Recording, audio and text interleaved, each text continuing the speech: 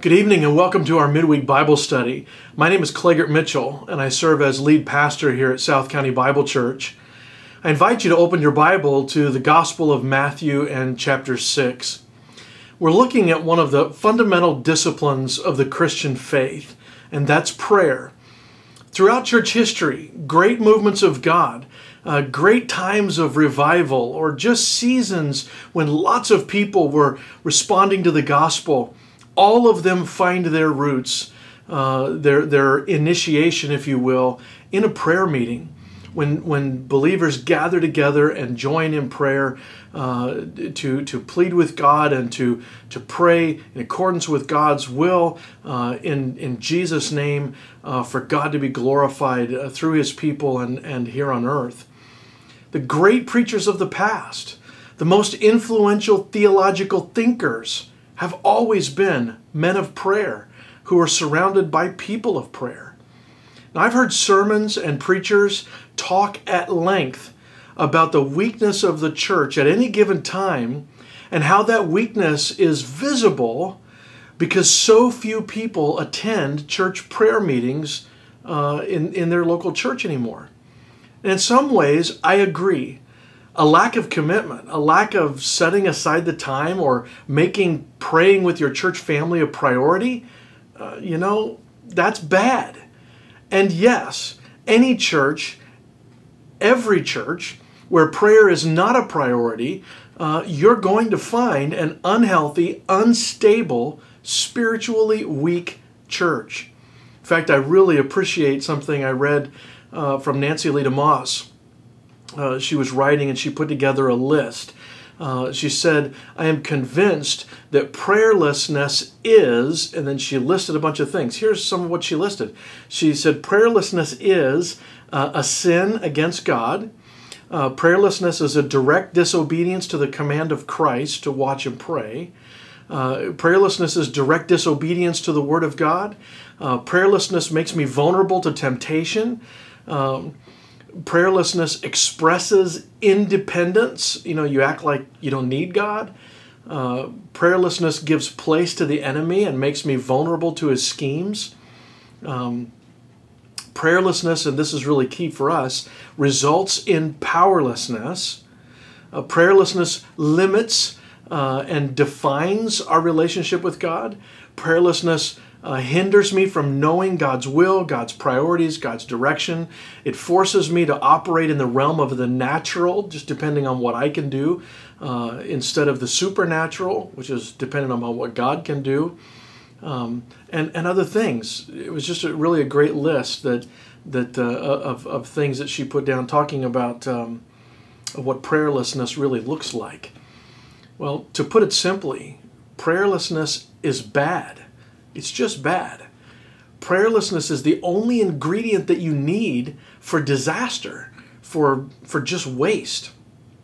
Now, all of that being said, I have to tell you, uh, for many years, I've struggled over the issue that I want to address tonight.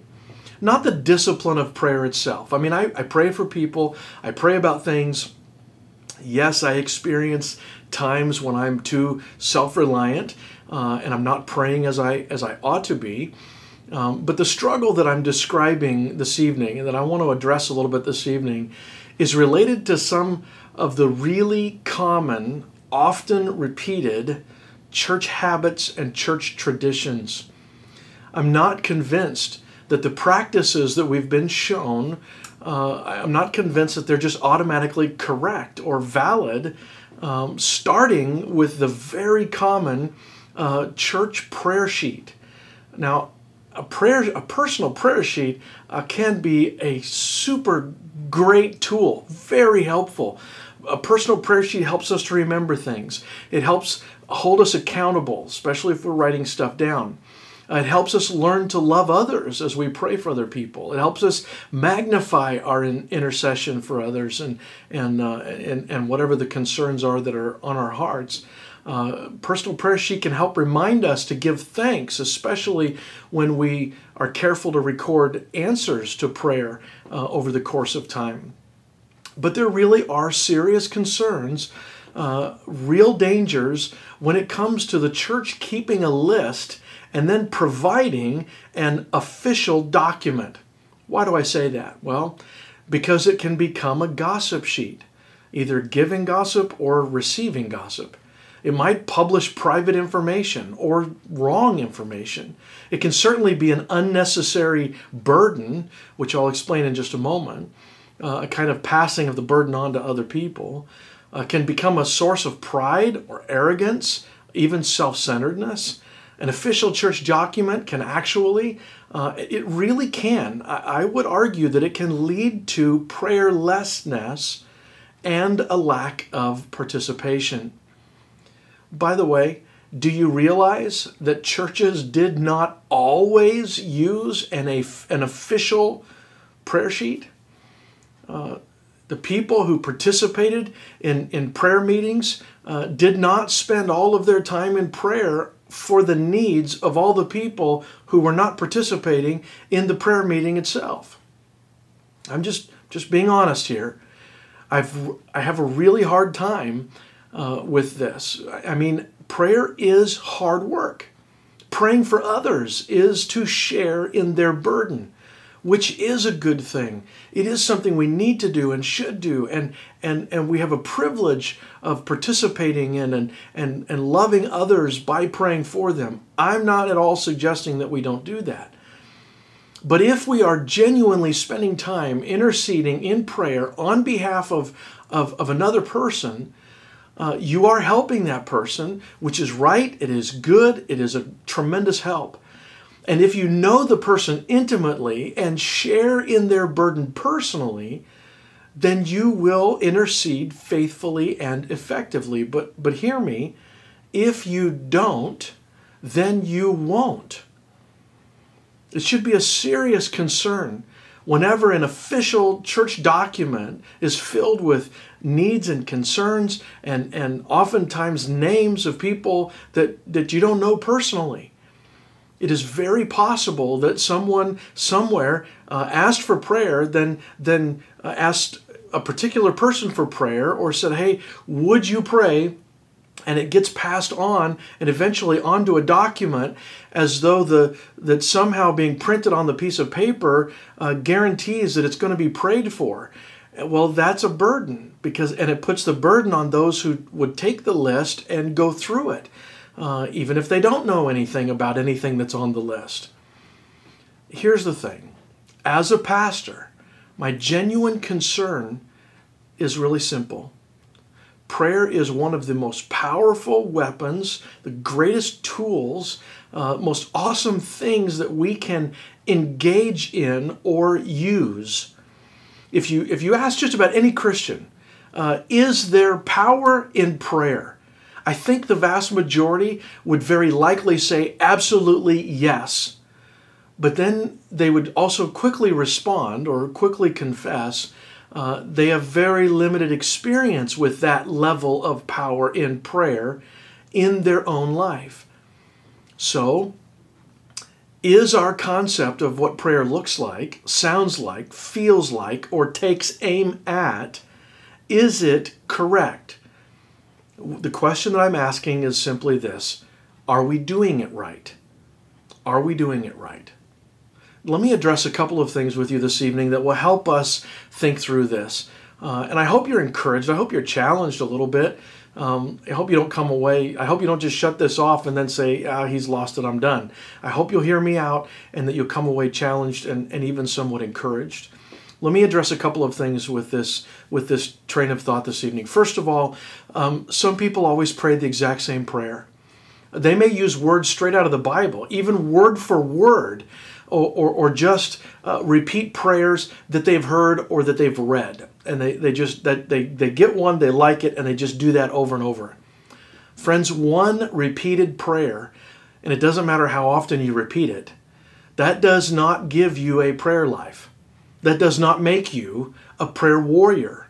There's a pastor I know who, who, uh, who likes to say, uh, something like uh, prayers without variety eventually become words without meaning.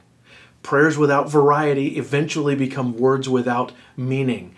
Well, there's a serious uh, thought and, and warning there for us. In fact, um, if you look at Matthew chapter 6, uh, where, where you should have opened a moment ago, uh, Matthew chapter 6, just look at verse 7. Jesus says, And when you pray, do not heap up empty phrases as the Gentiles do, for they think that they will be heard for their many words. Don't miss that incredibly important statement that Jesus makes. Do not heap up empty phrases as the Gentiles uh, do. Don't don't don't don't rush past that. The Gentile way of of praying that Jesus is referring to is is basically just pagan superstition.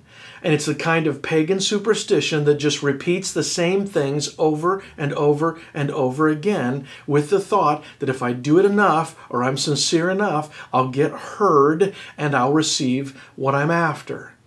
Friends, God despises mindless repetition and he hates hypocrisy, especially when it comes to prayer. Which, by the way, is why the rest of the prayers recorded in the New Testament they follow the model of Jesus' lesson here on prayer, but not the form. In other words, we don't ever read of the early Christians just repeating Jesus' words, even, even in this passage in Matthew 6. Uh, they don't just repeat them ritualistically. They don't just repeat them verbatim in a monotone, and if I just say them enough times, God will listen. We never see that in Scripture. We should never think that we have found, you know, just the right words to use and then rely on those words as the sum total of our prayer life. It means it, it, it, it may seem uh, more simple, it may seem easy to just sort of lean on one prayer that you know for memory, uh, but please understand there is no uh, there are no simple magic words or magic formula to get God to do our bidding. Prayer is about talking to God and worshiping God through communing with God. Prayer is about my heart being persuaded that God is God and that He has made a way for me to draw close to Him, to have intimacy with Him, to be able to express my innermost heart and mind before Him, knowing that He's listening and ready, willing, and able to respond the right way in the right time according to His will on my behalf if your prayer life does not reflect your personal intimacy with God, your, your, your growing relationship with God, then you probably don't know the power of prayer. And, and what time you do spend in prayer, um, forgive me, but it's worthless. It's empty. It, it is just more of that feeling like, well, I tried to pray, but I didn't, I felt like my words didn't get any higher than the ceiling as someone might say. That's because they were empty. That's because they didn't go any higher than the ceiling. Listen, the entire Bible is our guide to prayer, which means that if we willfully neglect what God says about prayer, and just rely on our own empty phrases and vain repetitions and, and what we think seems profound, we're just wasting our time. We're just wasting our breath. Talking to God is too great a privilege to waste our time or to waste our breath, especially when the Bible invites us, as Psalm 62 8 says, Trust in Him at all times, O people, pour out your heart before Him. God is our refuge for us. Now, so we don't pray the same thing. Don't get stuck just saying the same thing over and over. Let me give you one other piece of this that that, that is a um, a concern. I think it's helpful, and I hope and I, I can explain it in a way that you'll track with. Uh, let me give you a few thoughts from the Gospel of John. Um, the Gospel of John, uh, more than one time. John 14, 13 says, Whatever you ask in my name, this I will do, the, that the Father may be glorified in the Son. John 15, 16, Jesus is speaking of, of uh, our bearing fruit that lasts, and he says this Whatever you ask the Father in my name, he may give it to you. John 16, verse 23 and 24. In that day you will ask nothing of me. Truly, truly, I say to you, whatever you ask of my Father in my name, he will give to you. Until now, you have asked nothing in my name. Ask and you'll receive, that your joy may be full. All those statements, every single one of them, Jesus says uh, uses the same phrase. Uh, you ask in my name. You ask in my name. Now, most of the time, you hear a Christian pray. I do this. You probably do this. And at the end of the praying, uh, kind of at the, the, the, the way we sign off, is we say, In Jesus' name, Amen. The problem is, very often, that is just the tagline that we use or that we add at the end uh, after praying through a bunch of stuff that are all about our interests and not His. So let me try and let me try and explain this for you. There, there's there's often a tendency in the church to think that you know you have to have uh, warm and fuzzy or else it's it's not powerful. Uh, you know, we have to have a big sense of reverence or a throbbing awareness of humility. Um, you have to have a tingling sense of God's presence. Uh, if we just uh, really, really, really, truly feel like we are super sincere or deeply earnest before the Lord, well, then God is going to hear our prayer and give us what we want. At the, at, at the time, uh, I didn't understand. Uh, years ago, um, there was this, this person that walked up and whispered kind of at me very aggressively in, in, in their tone. They just walked up and they said, Pastor C, are you feeling it? Are you feeling it? I didn't know what they meant. I, I, I, I just kind of dismissed and, and went on. Look, I'm asking what, what, what is our foundation? Do we think that God will hear our prayers for Jesus' sake or for our sake? For His glory or our glory? That's kind of the question. Do we think God will be pleased on the basis of our feeling it? On our on our our sense of, of presence and, and, and our emotion? Let me say it like this. Um, yeah, think about it like this. Uh, do we believe that our prayers based on our are, are based on our feelings on our sincerity on our on our uh, earnestness or our reverence somehow deserve to be heard? That's what I'm asking. Do we really believe that our great humility deserves to be rewarded? Sometimes we act like that. And when we do, if we do, then I submit to you, we are insulting God because we are dragging His divine perfections, His divine attributes down to our finite, limited, wretched selves. To pray in the name of Jesus Christ has nothing to do with, with my uh, you know, my hope or my expectation of, of being heard based on the merits of my good prayers. To pray in Jesus' name is to place all of my trust in Christ's perfections. It is to, it is to have confidence in His perfect intercession on my behalf. You see, my concern is that we drift into the, the, the vain repetition of useless phrases based on what we want. Our will done in heaven to the point that it's worthless. And there is, there is no power. We feel like our prayers don't get any higher than the ceiling.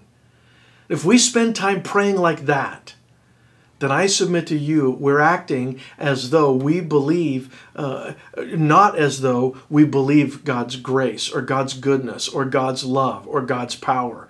If, if our prayer lives are based on our feelings and thinking that God is going to respond to us rather than uh, our response to Him through Christ, um, we're going to lack the power we're not we're acting like we don't believe in God's grace, like we don't know anything about what God's word says.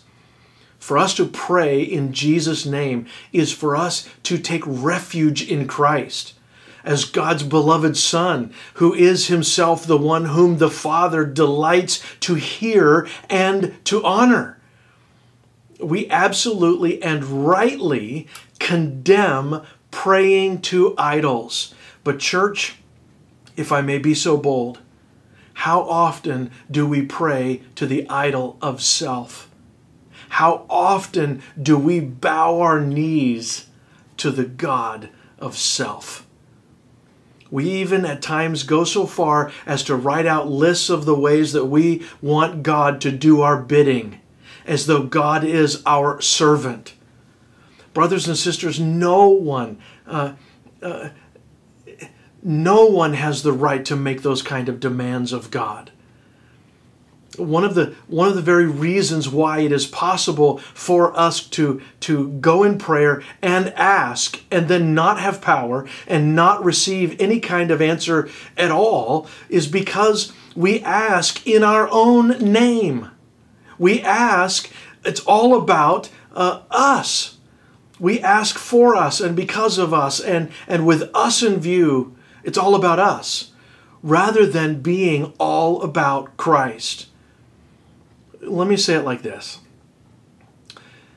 What I'm talking about is, is not any different than one of my children comes up to me and says, Dad, uh, just want you to know that I cleaned my room without being told. You should totally uh, reward me with some ice cream. Dad, I, I, I, I, put all my laundry in the laundry basket and I'm kind of thinking maybe that needs to be a paid chore today. You should give me money. Uh, Dad, I was nice to my sister today. Can I have some candy? See, if, if your child came up to you thinking that he has the right to tell you how to reward him, or thinking that he has the right to tell you uh, what you should do in your response to your child, how would you respond? What would, what would you do? Would you cater to your child's selfish demands?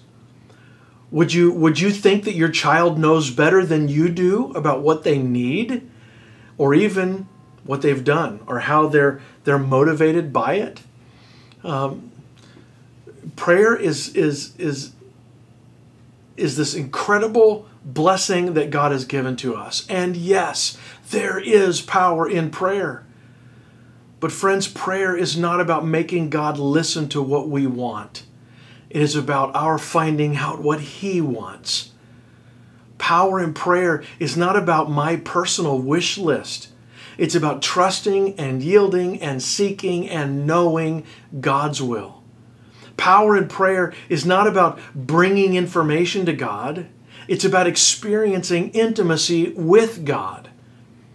So here's the test Here's the test uh, for your prayers. It's real simple. When you pray, are you praying for my will to be done or for your will to be, Father, your will to be done? What are you asking? What's your motive? What's your heart? Are, does your prayer life reflect more like, God, this is what I want, this is what I expect? Or, God, I trust you, what do you want? What do you desire? What is your will? I trust you. I have confidence in you. Because of Christ, your word is true, and I believe. I urge you, I encourage you, I dare you, I exhort you to reconsider what you pray, how you pray, why you pray. And then, brothers and sisters, lean into the truth of Scripture lean in and learn to crave God in heaven more than you crave peace and safety, health and wealth on the earth. And then just see if you don't experience the power of prayer, quite possibly like never before. Let's pray. Heavenly Father, I come before you and I do thank you for loving us enough not to leave us as we were. I thank you for loving us enough to convict us, to confront us, to, challenge us, stretch us, even force us to ask hard questions and do some self evaluation like, like this really kind of calls for. I pray, Father, that you would help us to learn or relearn what it means to pray, to engage in prayer. What does it really mean to be a prayer warrior? Help us, Father, to have soft hearts and teachable minds. Help us to grow in this incredible discipline of prayer. Help us to, to, to always be wary of getting stuck in a rut. Help us to just truly and powerfully experience your will and your power and your grace and your mercy and your love in our prayers and in our lives. Father, we need you. All of this I pray in Jesus' precious name. Amen. Thank you so much for watching. Uh, we look forward to seeing you this Sunday um, on our live stream. Uh, this is our Sunday. We're going to uh, share in communion uh, together. Um, you, you don't have to have special items for it. The, the communion table, like um, like uh, several things is something that is symbolic. It represents the truth, and uh, we will examine the truth. We will remind ourselves of the truth of Scripture, and uh, then we'll partake of the bread that represents Jesus' body and the cup, which is representative of Jesus' blood. Um, so you don't have to rush out and get any special things. Uh, just just make sure that if you're going to participate with us, uh, if you're a believer and you're going to participate with us, that uh, you have a, a, piece of bread and a cup uh, for each of the uh, people in your house that's going to participate, and then we'll give instructions as we go through. You'll understand as we'll we'll share in that together this Sunday. Uh, we're looking forward to the month of June. We have plans. Uh, to to start uh, opening up, and uh, we're going to get those plans out to you very soon, uh, so you'll understand how things will be working and functioning, and and um, we just miss you all very, very much, and we're looking forward to uh, times we get back together as uh, as the body, and um, and yeah, we just we're just so excited about um, the days that are ahead. Um, love you all. Have a great rest of the week. We'll talk to you later. Bye bye.